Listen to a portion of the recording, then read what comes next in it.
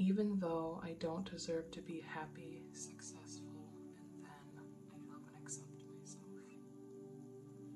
Even though I don't deserve to be happy, successful, and then I love and accept myself.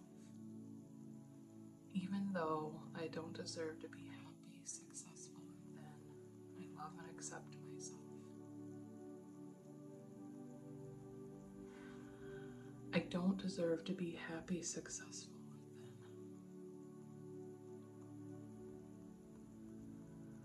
Other people deserve happiness and success, but it is not for me. I have done too many things wrong. And I already have more than I deserve. Other people are entitled to progress,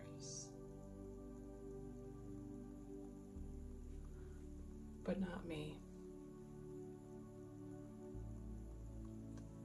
If I was successful, I would be taking more than my share, and I'm too messed up for success and happiness anyway.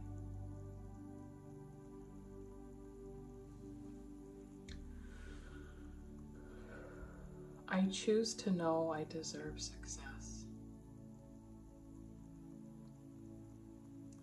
Even though it is really hard for me to say out loud.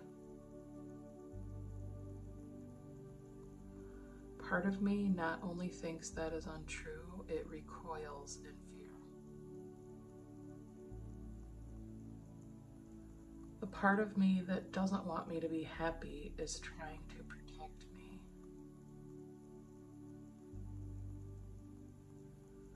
It is trying to protect me from getting my hopes up and then having them dashed to pieces. There is a part of me that believes any good in my life is unearned and undeserved.